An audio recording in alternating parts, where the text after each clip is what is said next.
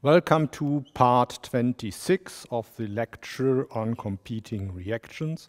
Subject of today are chiral auxiliaries.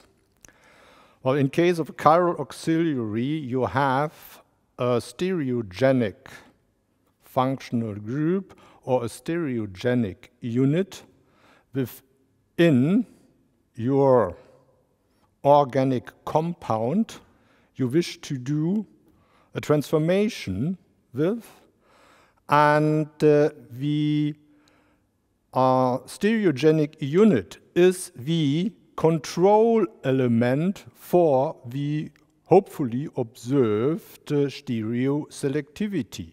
After that transformation, that covalently, normally covalently bound group is removed. So we will see a couple of examples and very often for implementing such a chiral auxiliary in your molecule, you use chiral amino alcohols. So where do you get the chiral amino alcohols from? Very often by reduction of amino acid derivatives. One example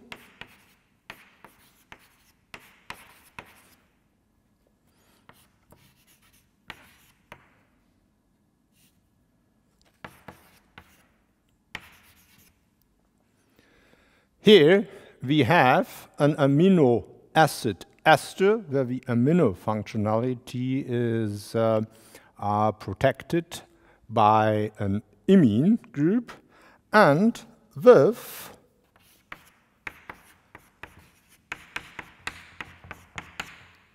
dibal it is reduced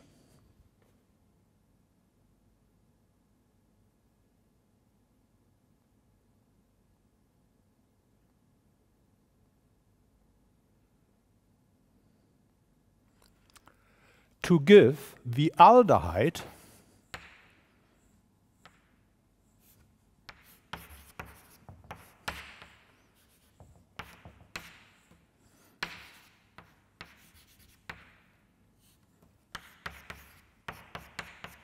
You know dibal reduction, just having one single hydride as reducing agent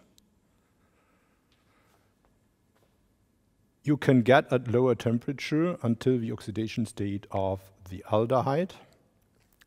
And then, for instance, with phenyl magnesium bromide, addition to that carbonyl group afterwards hydrolysis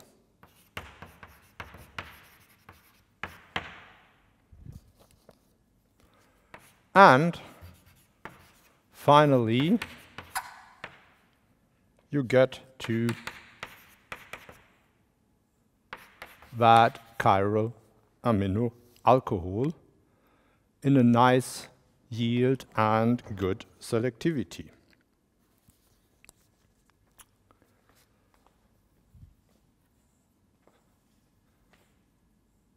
Very often,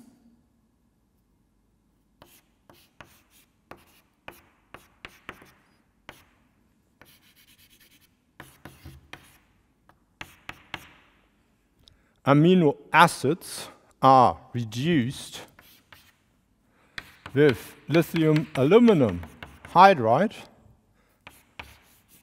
and then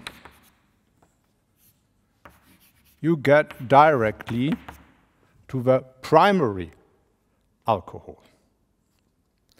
Other examples alpha hydroxy ketones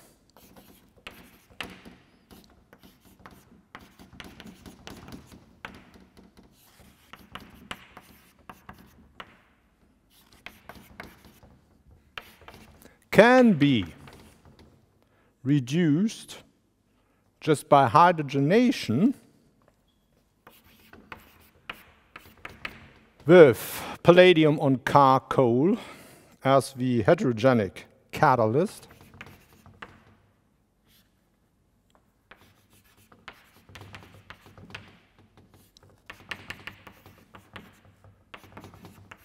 And then you also achieve a transformation to that amino alcohol. In this case, 69% yield and a diastereo selectivity of 93% has been reported. And of course, if you have access to a chiral epoxide, you could just let that react, for instance, with a secondary amine, heating it up,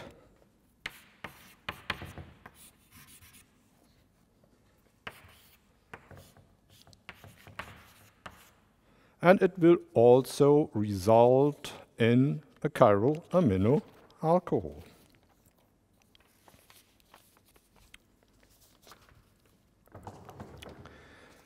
So,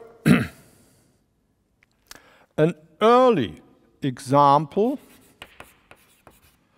of introducing a chiral amino alcohol into organic molecule and using that amino alcohol, former amino alcohol, as a chiral auxiliary was presented from Meyer's group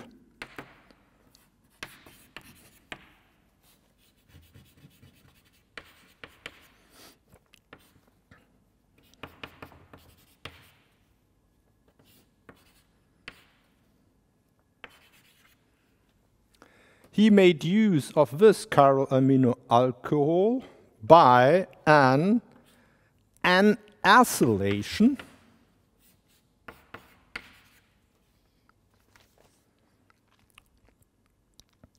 applying the acid chloride and an additional base, triethylamine for instance.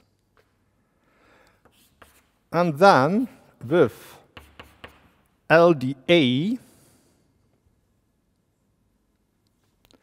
It was deprotonated, of course, twice at the more acidic OH group and alpha to the carbonyl group, forming the enolate. And, uh, well, this provided the chiral environment for a diastereo selective C alkylation with benzyl bromide.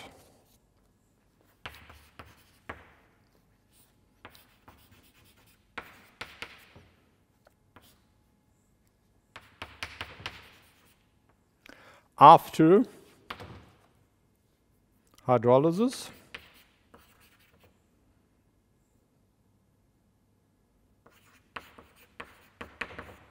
of the alcoholate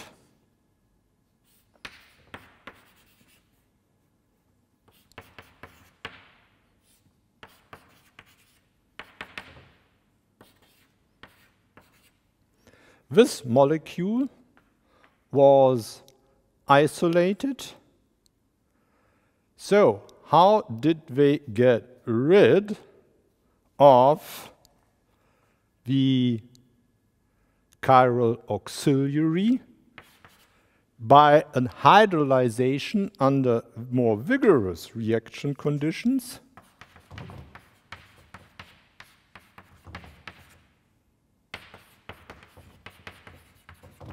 Sulfuric acid, bit of water and dioxane, heating it up.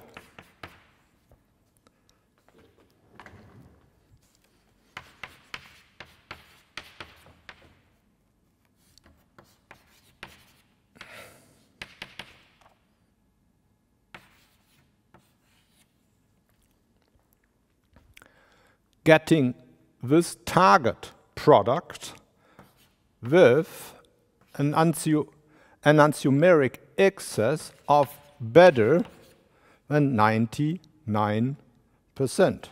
So please keep in mind, in this step, you are hoping for a high diastereo selectivity since you have, well, three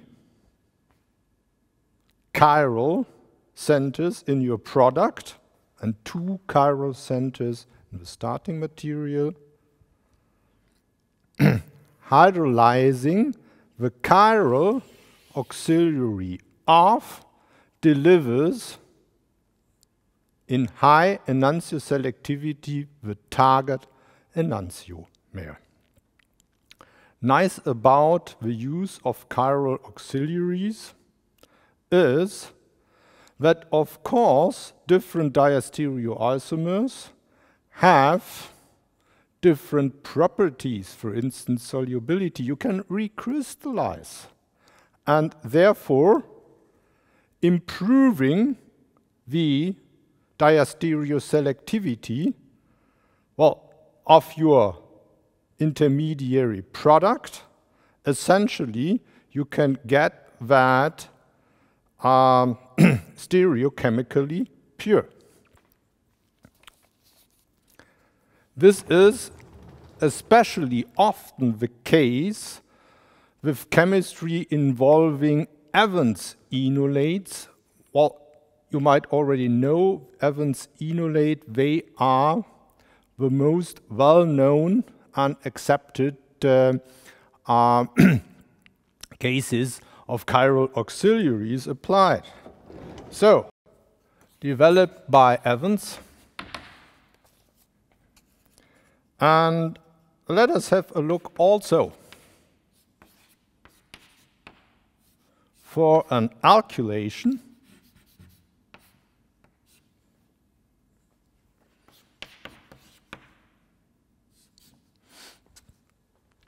So,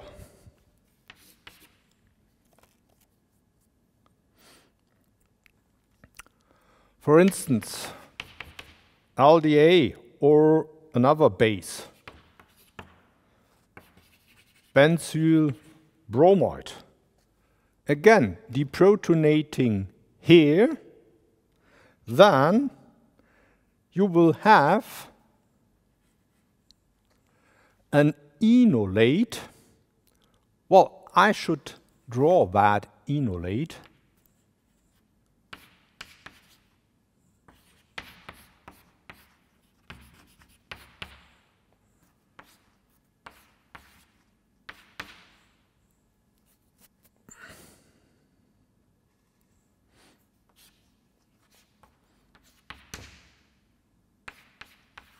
Keep in mind it can be either cis or a trans enolate. But under the right reaction conditions, you can selectively get uh, the one or the other. So, and after the alkylation, in that case,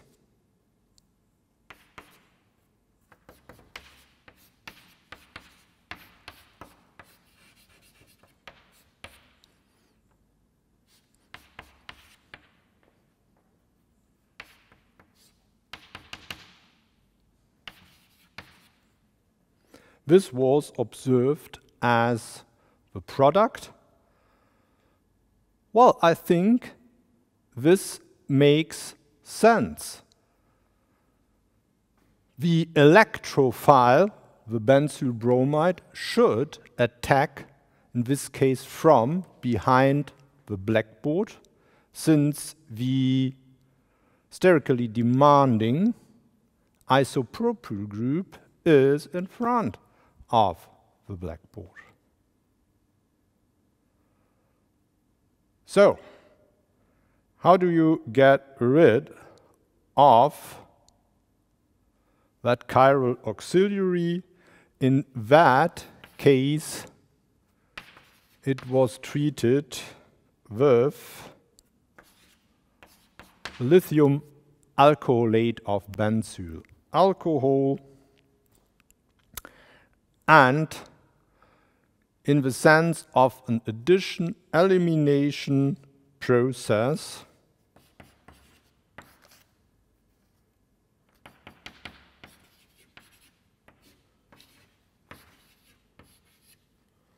that benzyl ester was obtained and again with more than 99% EE.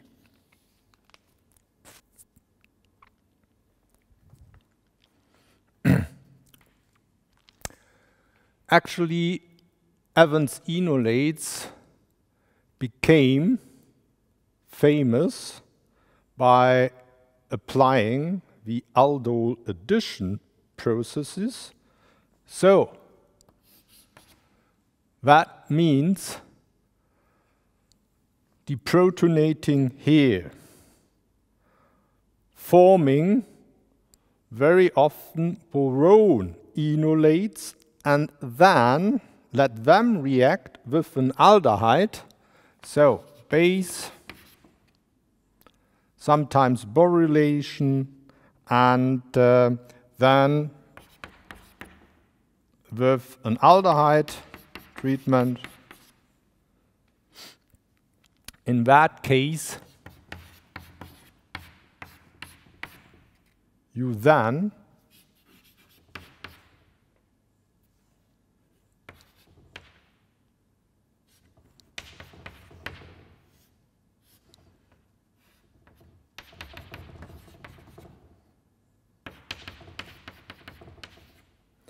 will form two stereogenic center highly diastereoselectively in one step.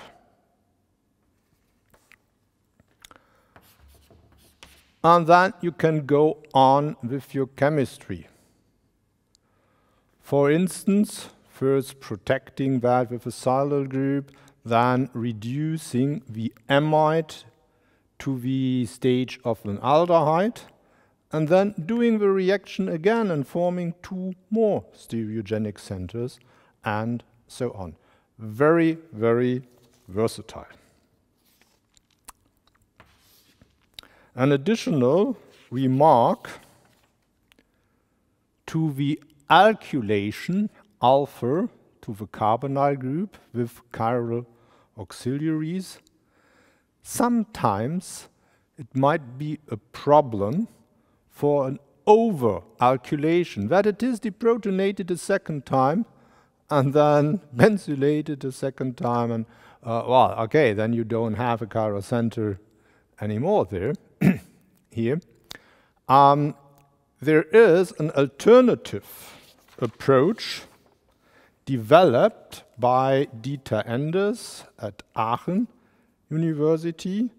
And uh, the abbreviation SAMP and RAMP is well known for these cases. So, Enders, SAMP and RAMP chemistry. So, it's about amino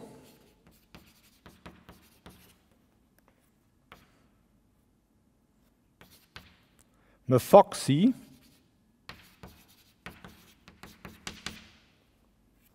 methyl, methyl pyrrolidine,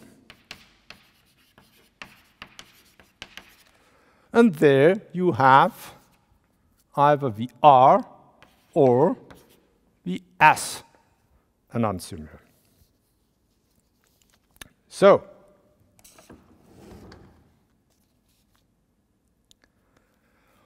for the synthesis of SAMP. You start from the naturally occurring as proline. And the first step we already talked about. It is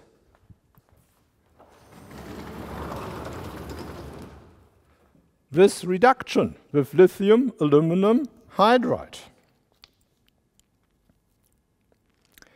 Then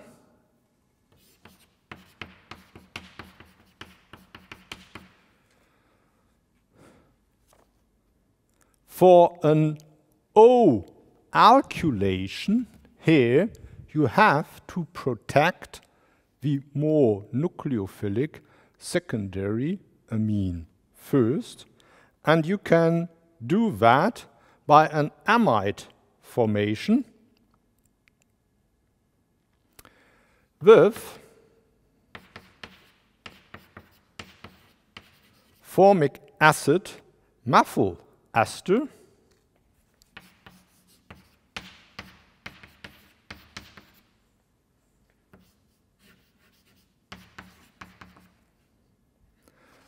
Then, with sodium hydride and methyl iodide, you can selectively O alkylate.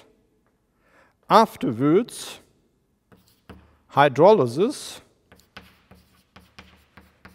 with KOH will give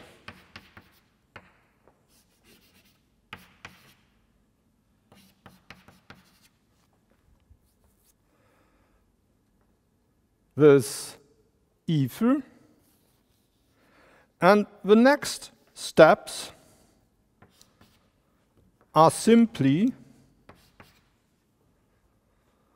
treating that with the nitrosyl cation, forming a nitrosamine, which is then reduced by lithium aluminum hydride forming that hydrazine, chiral hydrazine derivative.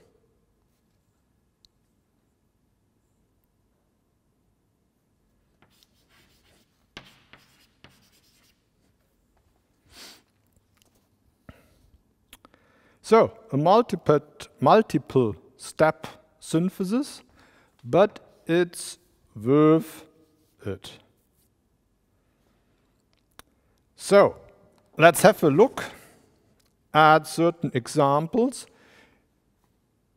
The hydrazine derivative is used for hydrazone formation.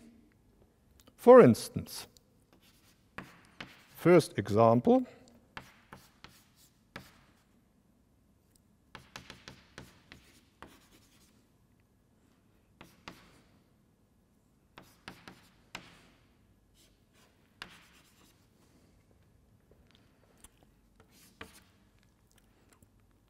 Then, with LDA, it is deprotonated alpha to the imine.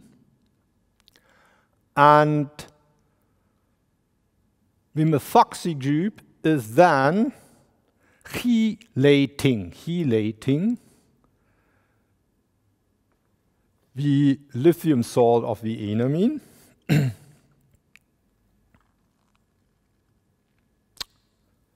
so, First step, LDA, deprotonating, as I said.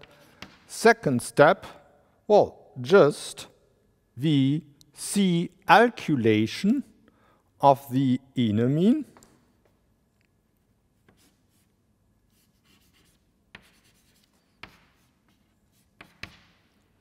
In this case, with an chiral, already chiral, alkyl iodide.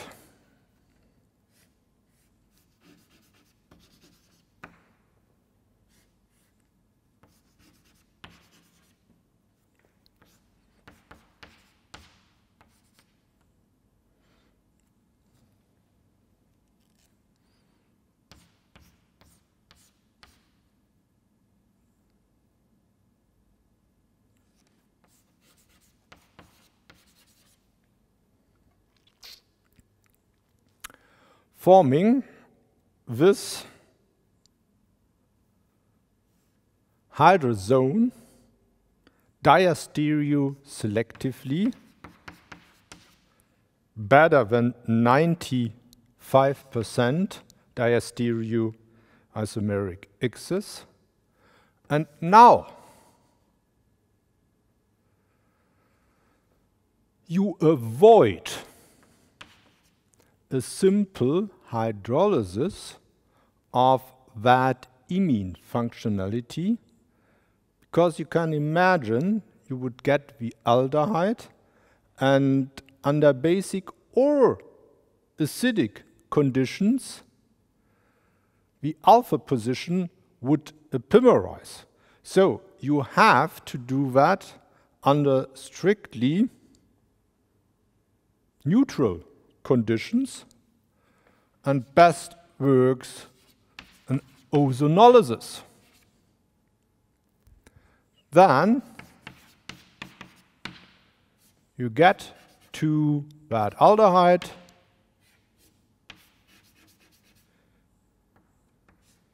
keeping the stereoselectivity here and alpha position intact. And the aldehyde was, uh, in one example,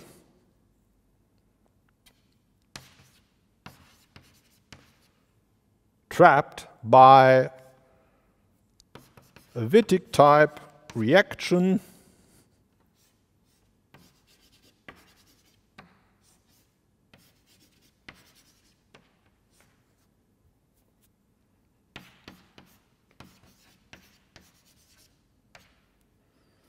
And actually, that was part of a more extensive natural product synthesis with zaragozic acid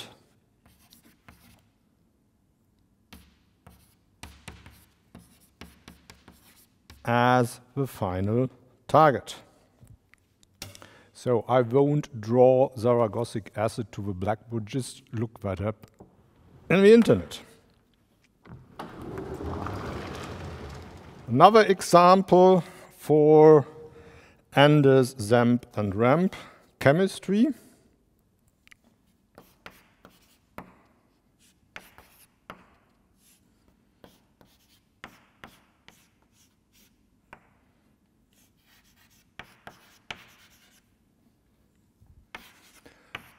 Again, that hydrazone deprotonated an alpha position. Secondly, treated with an alkyl bromide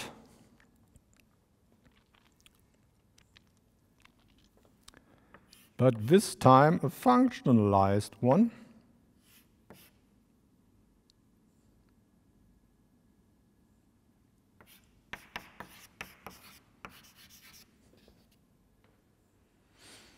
So, what will happen?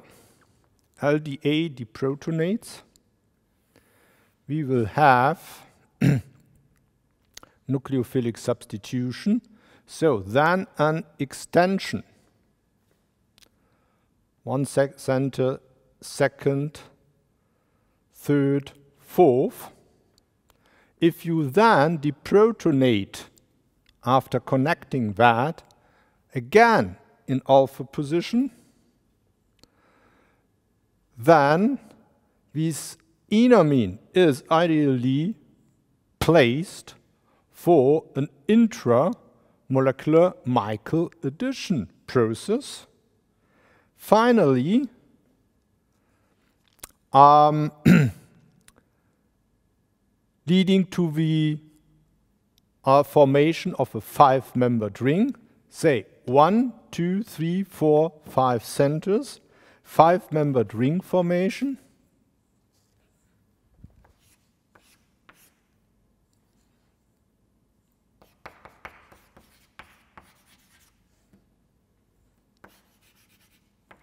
And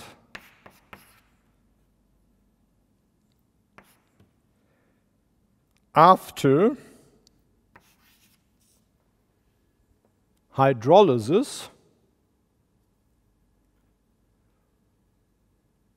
well, you then set that carbonyl free. Well, I would bet a normal hydrolysis would be fine in this case. Nevertheless, Enders Group has been careful avoiding any epimerization here. And also, again, using an ozonolysis at low temperatures.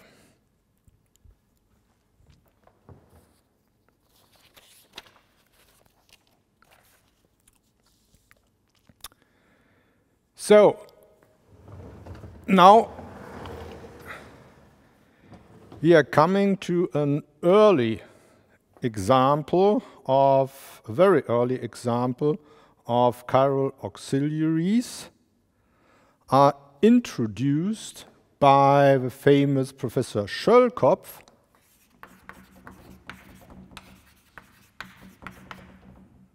tis his synthesis of amino enantioselective synthesis of amino acids by Schöllkopf's bislactim. Ether method.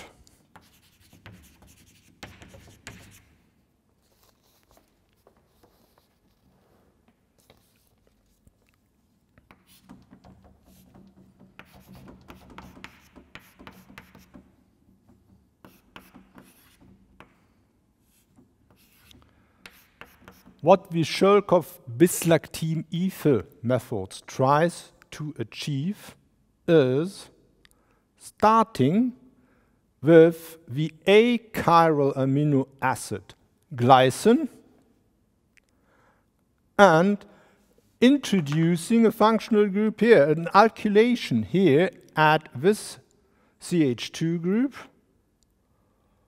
well, in order to generate a chiral center. And we wanted to do that enantioselectively. They combined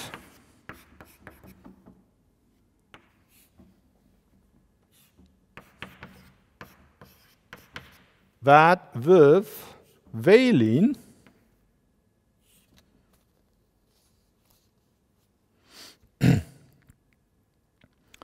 for instance R valine with a double condensation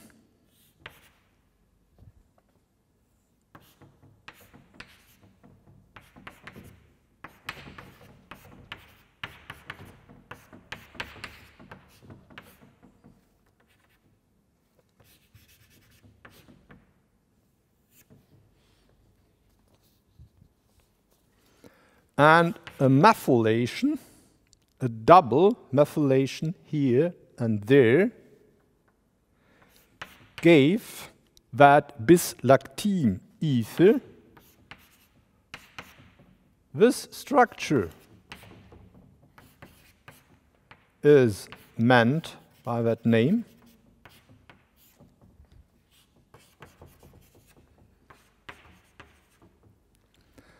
The double alkylation is achieved with a very strong alkylating agent. It is Meerwein salt. This is a trimethyl oxonium tetrafluoro borate.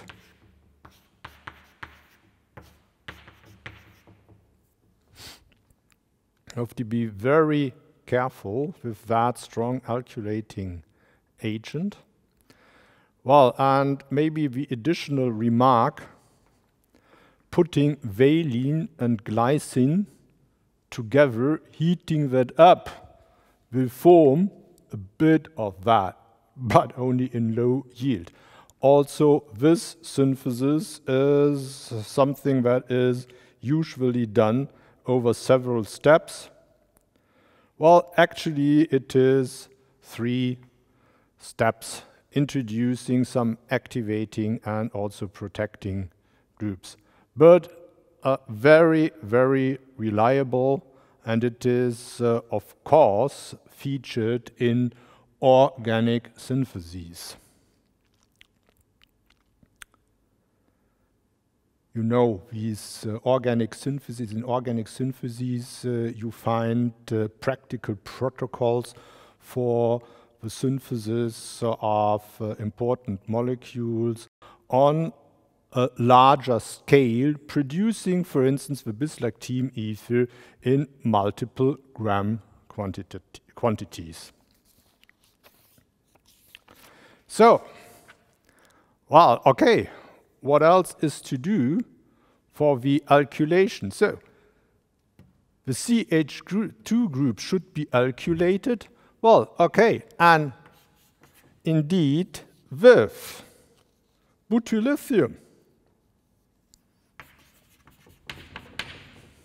You can selectively deprotonate here.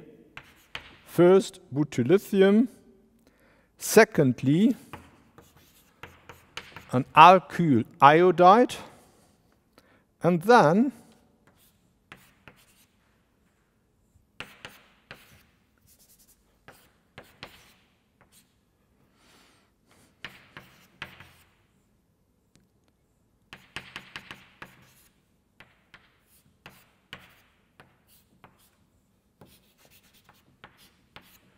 you will alkylate that heterocycle from the side opposite to the sterically demanding isopropyl group.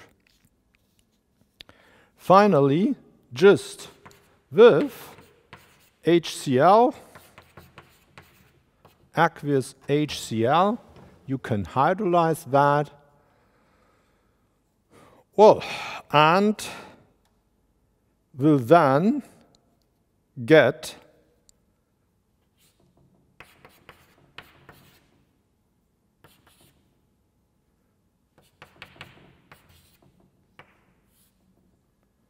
your chiral amino acid as an ester and valine methyl ester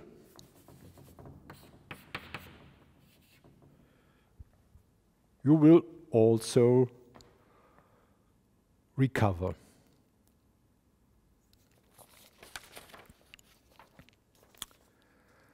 Next subject, carbohydrates have also been used as chiral auxiliaries.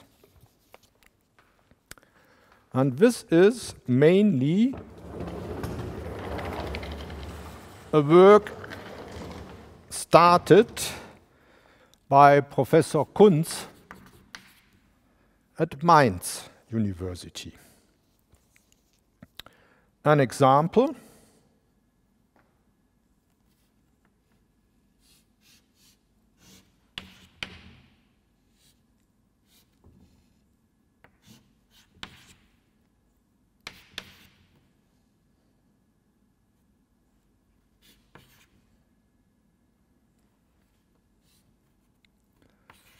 a galactosyl derivative was used, all remaining alcohols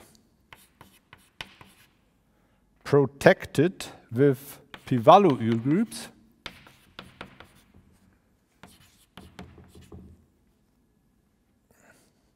and here we have that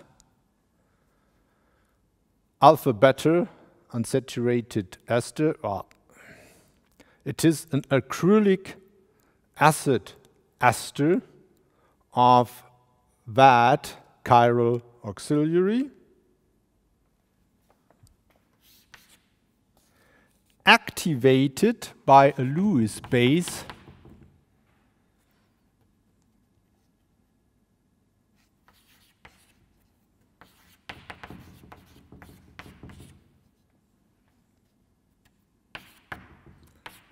it underwent a Diels-Alder reaction with cyclopentadiene.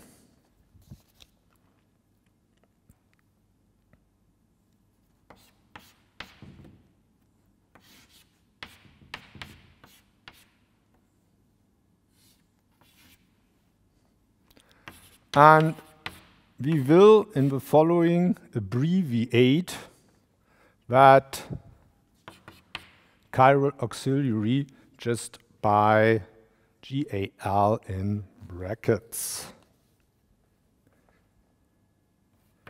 95% yield and uh, a diastereo selectivity of 96 to 4. And also 96% endo, 4% exo derivative. More examples.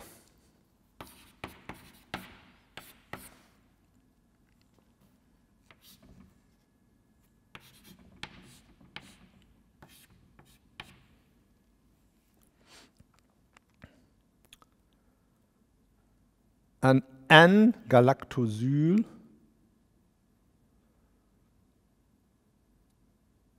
functionalized imine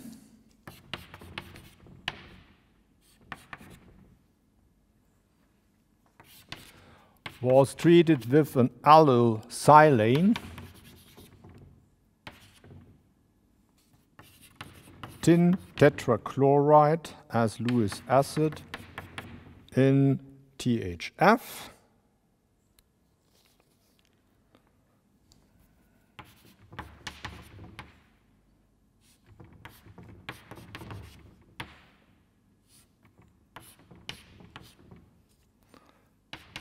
This chiral center has been formed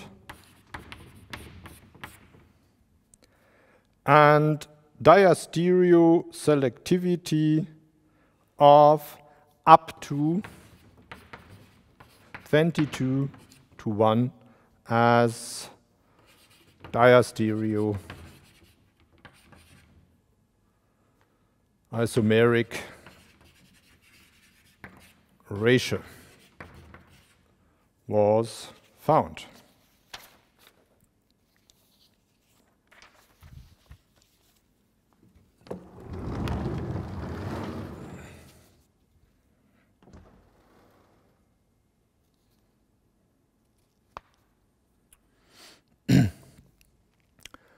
Another example, very similar to this one, also an imine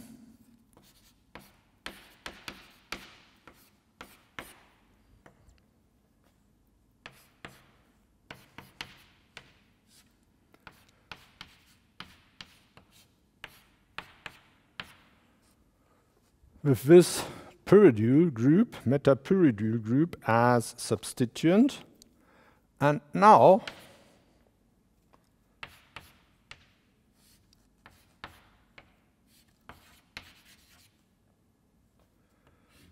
it was treated with this well, diene system of high electron density with zinc chloride, THF, at minus 40 degrees to get high selectivity. Afterwards, hydrolyzed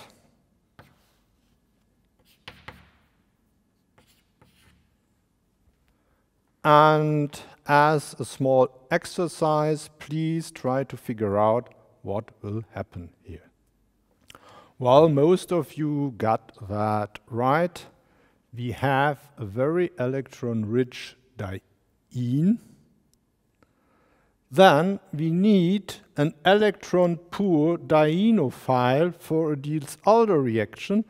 And indeed, such an imine, especially when activated by a Lewis acid, is an electron deficient heterodienophile, and it will give a Diels-Alder reaction. And, well, let's see what happens.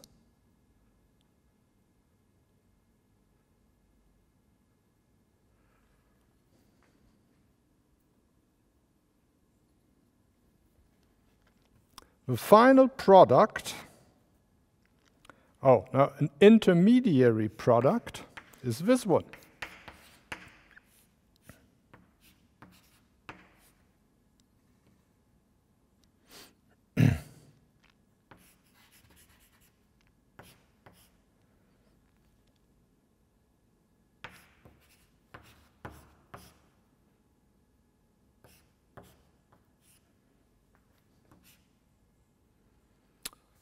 So,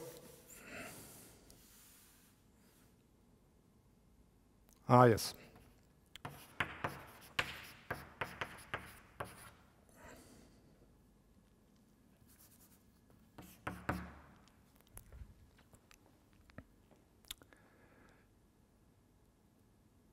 So, what happened here?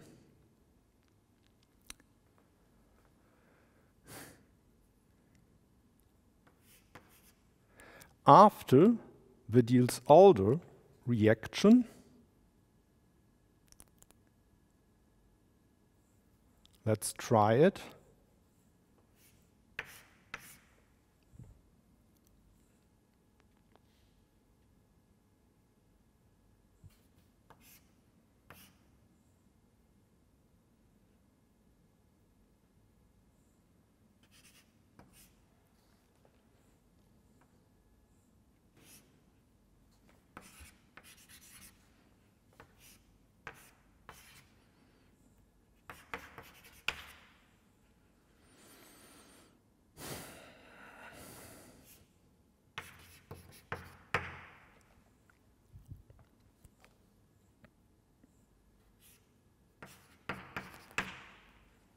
You will have this structure and under the reaction conditions you will have that methoxy group eliminated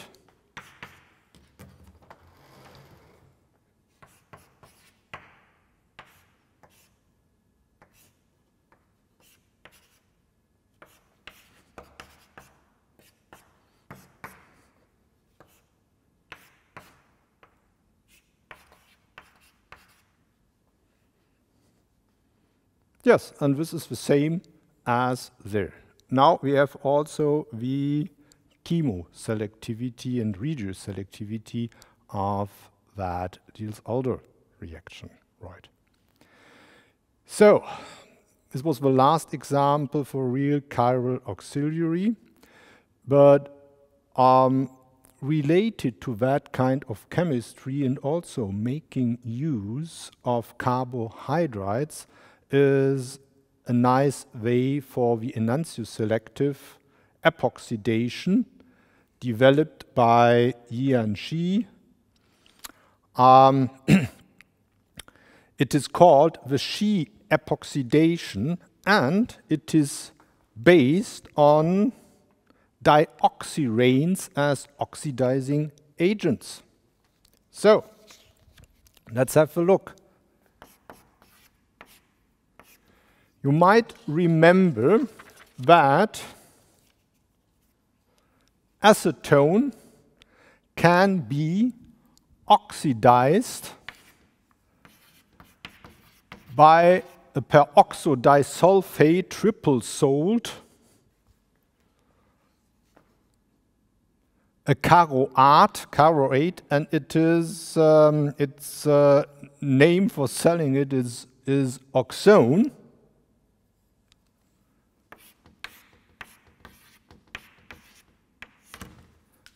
And this is the structure of the dimethyl dioxirane. You can well, produce a yellow solution of dimethyl dioxirane in acetone and use that for oxidizing purposes. The main advantage of that, as you might remember, is that um, the product after delivering the oxygen is just, just acetone, not that acidic. This makes a big difference compared to our per acid, metachloroperbenzoic acid, where you have a benzoic acid as the byproduct, may be attacking your epoxide. So, okay, and uh, this dimethyl dioxirane acetone solution is very nice in producing very sensitive epoxides at uh, low temperature in vacuum. You can just distill or evaporate off acetone plus remaining excess dioxirane and even very sensitive epoxides will survive that procedure. Now, to the idea of Yian Shi, he thought, well, maybe I can use chiral ketones for enantioselectively delivering the oxygen. And indeed, he developed at least two examples of chiral ketones based on carbohydrates.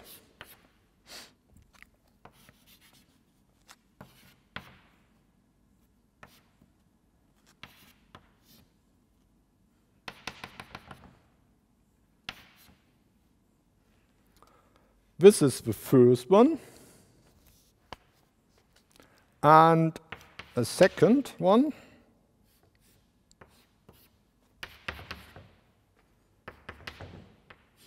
Similar, but not the same.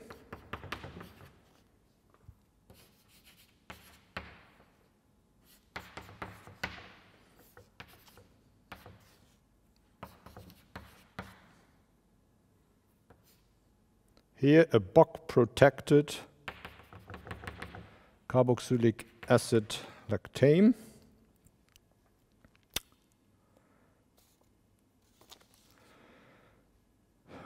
Well, they are called catalysts, but essentially you have to apply them at least equimolarly. For instance,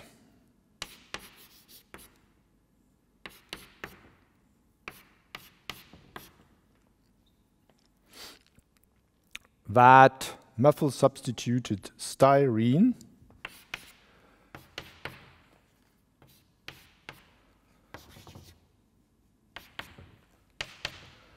with catalyst A, three equivalent of that catalysts, and oxone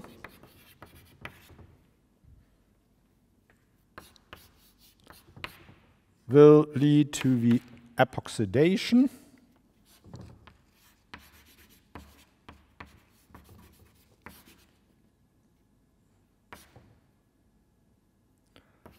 with 93% and, well, 92% EE.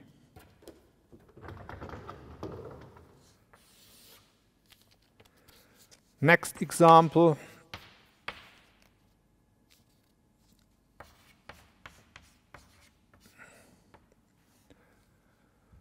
this acetal of cyclohexenone. Now with catalyst B, this time indeed catalytic amounts 25%.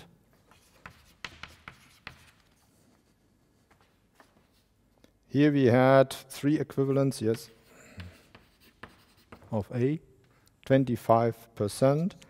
Again, oxone.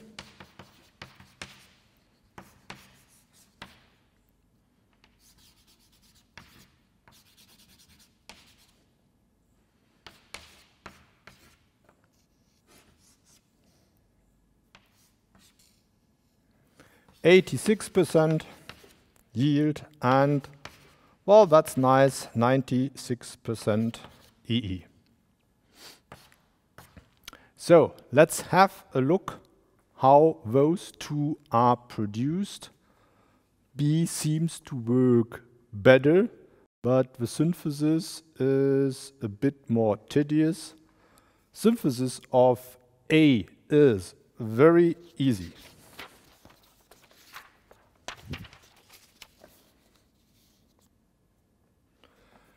You start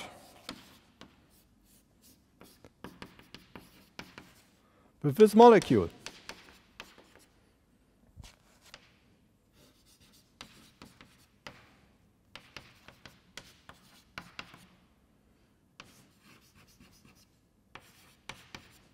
And this is just D-fructose.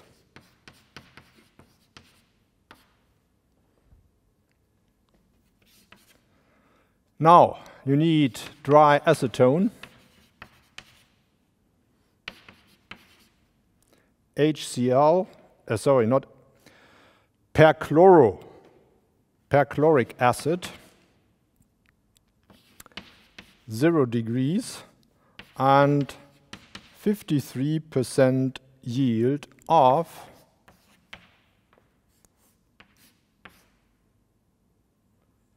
this bis-acetal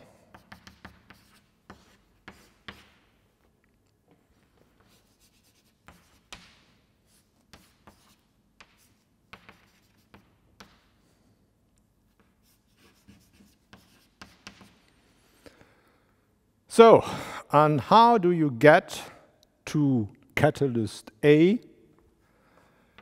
Just oxidation, for instance, with PCC,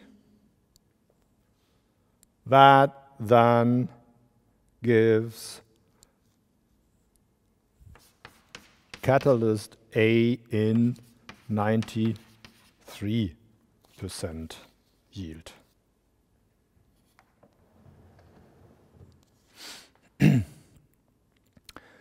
then, how to synthesize B?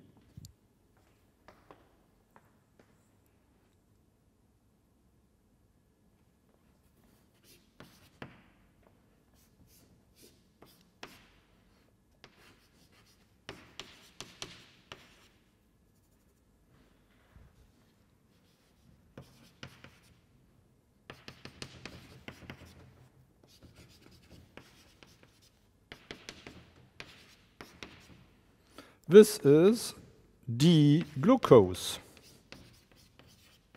So, also extremely cheap.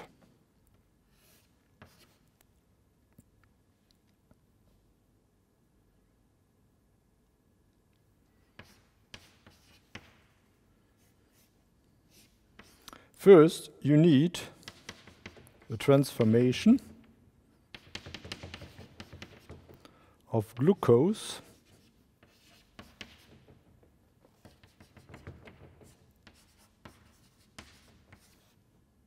to this molecule with that tertiary amine introduced.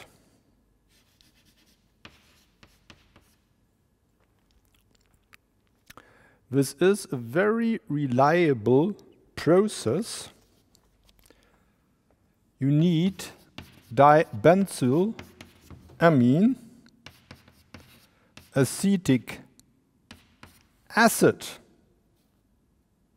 Heating it up, 83% yield is usually obtained. And this is called the Amadori rearrangement.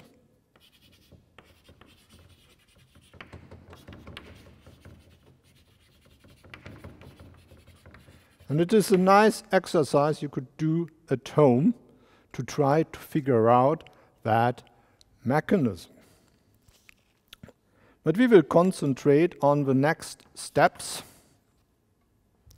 From here,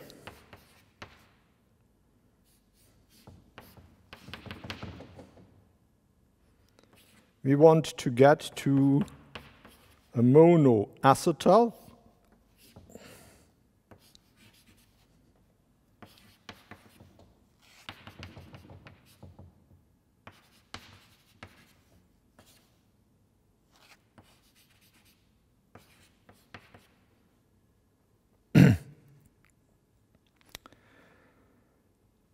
So,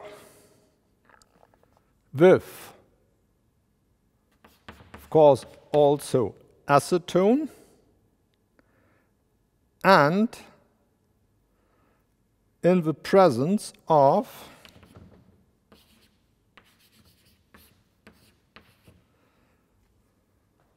an orthoester, which will finally trap the water which is produced during that condensation.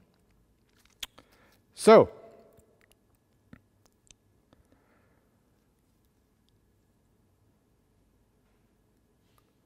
next steps. Well, okay, we will abbreviate that. you have to get rid of the benzyl protecting groups. This is usually done by hydrolyzing that, uh, not hydrolyzing, by hydrogenating that off. Very reliable procedure. So, and then we have again a chiral amino alcohol getting on that carbonyl group.